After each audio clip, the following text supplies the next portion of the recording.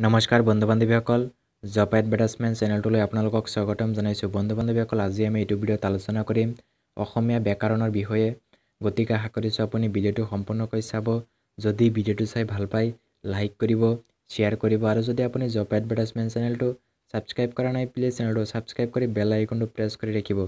Friends তেতিয়াহ'লে বলক আজিৰ ভিডিঅ'টো আৰম্ভ কৰোঁ। বন্ধু বান্ধৱীসকল প্ৰথমে আমি আলোচনা কৰিম অসমীয়া ব্যাকৰণৰ কিছু বিৱৰণ। ধ্বনিবোৰৰ লিখিত প্ৰতীকক বৰ্ণ বুলি কোৱা হয়। বৰ্ণই প্ৰকান্তৰেৰে আখৰ আৰু আখৰেই প্ৰকান্তৰেৰে বৰ্ণ। সত্যনাথ বৰাৰ কথামতে মানুহে কথা কওঁতে যিবিলাক শব্দ উচ্চাৰণ কৰে সিহঁতক লিখি প্ৰকাশ কৰিবলৈ প্ৰত্যেকটোতে একোটা চিন ব্যৱহাৰ কৰা হয়। সেই চিনবিলাককে বৰ্ণ বুলি কোৱা হয়। অৰ্থাৎ চলিত কথাত বৰ্ণক আখৰ বুলি কোৱা হয়। অসমীয়া বৰ্ণমালা দুবিধ স্বৰবৰ্ণ আৰু ব্যঞ্জনবৰ্ণ যিবিলাক আখৰ আন কোনো আখৰৰ সহায় নোলোৱাকৈ উচ্চাৰণ কৰিব পাৰি তাক স্বৰবৰ্ণ বুলি কোৱা হয়। স্বৰবৰ্ণবোৰ হ'ল অ আ ই এইকেইটা হৈছে আপোনাৰ স্বৰবৰ্ণ এইকেইটা মনত ৰাখিব। যিবিলাক বৰ্ণ স্বৰবৰ্ণ সহায়ত উচ্চাৰিত হয় সেইবিলাককে ব্যঞ্জনবৰ্ণ বুলি কোৱা হয়। ব্যঞ্জনবৰ্ণবোৰ হ'ল ক খ গ এইকেইটা হৈছে আপোনাৰ ব্যঞ্জনবৰ্ণ। এতিয়া আমি আলোচনা কৰিম। বৰ্ণৰ ওপৰত থকা কেইটামান অতি গুৰুত্বপূৰ্ণ প্ৰশ্ন। নাম্বাৰ ওৱান যি বৰ্ণ কাৰো সহায় নোলোৱাকৈ উচ্চাৰণ কৰা হয় তাক কি বৰ্ণ বোলে? অপশ্যনবোৰ দিয়া আছে। ক স্বৰবৰ্ণ খ ব্যঞ্জন বৰ্ণ গ অন্তথ্য বৰ্ণ আৰু ঘট আছে মহাপ্ৰাণ বৰ্ণ ইয়াৰ শুদ্ধ এনচাৰটো হ'ব অপশ্যন ক স্বৰবৰ্ণ। নাম্বাৰ টু এটা কণ্ঠবৰ্ণৰ উদাহৰণ হ'ল অপশ্যনবোৰ দিয়া আছে ই দীৰ্ঘই অ আৰু দ্বিতীয় চ ইয়াৰ কাৰেক্ট এনচাৰটো হ'ব অপশ্যন গ অ। অ হৈছে এটা কণ্ঠবৰ্ণৰ উদাহৰণ। নাম্বাৰ থ্ৰী সুকীয়া উচ্চাৰণ নথকা বৰ্ণ বুলিলে কাক বুজায়? অপশ্যনবোৰ দিয়া আছে ৰি খত আছে অনুস্বাৰ গত আছে ঔ আৰু গত আছে খ। ইয়াৰ চাৰিটাৰ ভিতৰত ইয়াৰ শুদ্ধ এনচাৰটো হ'ব অপশ্যন খ। অনুস্বাৰ অনুস্বাৰ হৈছে এটা সুকীয়া উচ্চাৰণ নথকা বৰ্ণ। নাম্বাৰ ফ'ৰ অনুস্বাৰ আৰু বিসৰ্গক কি বৰ্ণ বোলে? অপশ্যনবোৰ দিয়া আছে ক স্বৰবৰ্ণ খ অযোগবাস বৰ্ণ গত আছে পুলোৎসৰ বৰ্ণ আৰু গত আছে ব্যঞ্জন বৰ্ণ।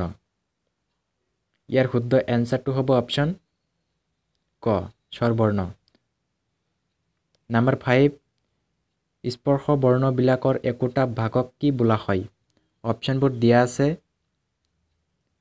ক বৰ্গ খত আছে বৰ্ণ গত আছে স্বৰবৰ্ণ আৰু গত আছে ব্যঞ্জন বৰ্ণ ইয়াৰ কাৰেক্ট এনচাৰটো হ'ব অপশ্যন ক বৰ্গ।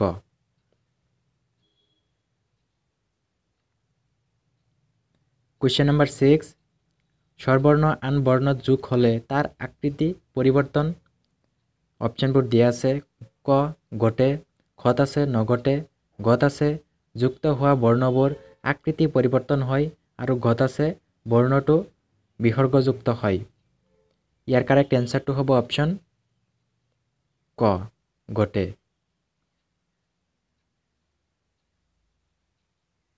নাম্বাৰ ছেভেন পুলোৎসৰ ব্যৱহাৰ হয়। অপশ্যনবোৰ দিয়া আছে ক ব্যঞ্জন বৰ্ণ উচ্চাৰণ কৰোঁতে। খত আছে স্বৰবৰ্ণ উচ্চ থাকিলে। গত আছে দীৰ্ঘস্বৰ হ'লে। আৰু ঘট আছে গীত গাওঁতে। ইয়াৰ কাৰেক্ট এনচাৰটো হ'ব অপশ্যন গ গীত গাওঁতে। পুলোৎসৰ ব্যৱহাৰ হয়। নাম্বাৰ এইট ব্যঞ্জন বৰ্ণত স্বৰবৰ্ণ যোগ নহ'লে কি চিন ব্যৱহাৰ হয়? অপশ্যনবোৰ দিয়া আছে। ক হচন্ত ঘট আছে বিসৰ্গ ঘট আছে অনুস্বাৰ আৰু ঘট আছে প্ৰশ্নবোধক। ইয়াৰ ভিতৰত ইয়াৰ শুদ্ধ এনচাৰটো হ'ব অপশ্যন ক হচন্ত। হচন্ত ব্যঞ্জন বৰ্ণত স্বৰবৰ্ণ যোগ নহ'লে চিন ব্যৱহাৰ কৰা হয়। কুৱেশ্যন নম্বৰ নাইন পৰ পৰা মলৈকে কি বৰ্গ বোলে? অপশ্যনবোৰ দিয়া আছে ক ত বৰ্গ খত আছে চ বৰ্গ ঘত আছে ট বৰ্গ আৰু ঘত আছে প বৰ্গ। এই চাৰিটাৰ ভিতৰত ইয়াৰ শুদ্ধ এনচাৰটো হ'ব অপশ্যন গ প বৰ্গ। পৰ পৰা মলৈকে প বৰ্গ বুলি কোৱা হয়। নাম্বাৰ টেন তলৰ কোনটো স্পৰ্শ বৰ্ণ? অপশ্যনবোৰ দিয়া আছে ক জ খত আছে ল গত আছে ইন্তীয় স আৰু ঘত আছে ব। এই চাৰিটাৰ ভিতৰত ইয়াৰ শুদ্ধ এনচাৰটো হ'ব অপশ্যন গ ব। ব হৈছে এটা স্পৰ্শ বৰ্ণ। নাম্বাৰ ইলেভেন উষ্ম বৰ্ণ কোনটো? অপশ্যনবোৰ দিয়া আছে ক থ খত আছে মধ্যনীয় গত আছে হ আৰু ঘত আছে ম। ইয়াৰ শুদ্ধ এনচাৰটো হ'ব অপশ্যন গ। হ হৈছে এটা উষ্ম বৰ্ণ নাম্বাৰ টুৱেলভ তালিব্য বৰ্ণ কোনটো?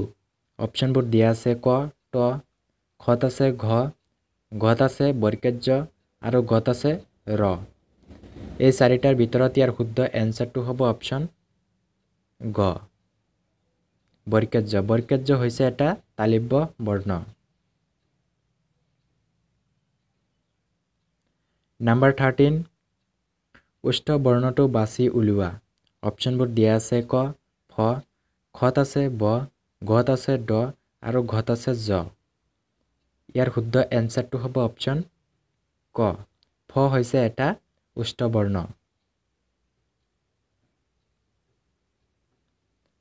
নাম্বাৰ ফৰ্টিন ড বৰ্ণটো তলত উল্লেখ কৰা কোনটো বৰ্ণভাগৰ অন্তৰ্গত? অপশ্যনবোৰ দিয়া আছে ক কণ্ঠবৰ্ণ খত আছে উষ্ঠবৰ্ণ গত আছে মধ্যন্য বৰ্ণ আৰু গত আছে দন্তন্য বৰ্ণ ইয়াৰ শুদ্ধ এনচাৰটো হ'ব অপশ্যন গ মধ্যন্য বৰ্ণ ডটো হৈছে এটা মধ্যন্য বৰ্ণ আৰু আজি লাষ্ট কুৱেশ্যনটো হৈছে শস্য বৰ্গটো কি?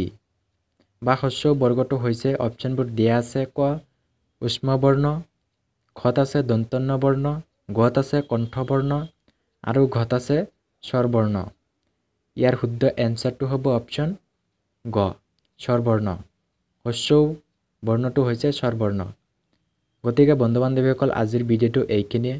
যদি ভিডিঅ'টো চাই ভাল পাইছে লাইক কৰিব শ্বেয়াৰ কৰিব আৰু যদি আপুনি জব এডভাৰ্টাইজমেণ্ট চেনেলটো ছাবস্ক্ৰাইব কৰা নাই প্লিজ চেনেলটো ছাবস্ক্ৰাইব কৰি বেল আইকনটো প্ৰেছ কৰি ৰাখিব। এনেকুৱা ধৰণৰ ভিডিঅ'বোৰ পোনপটীয়াকৈ পাবলৈ।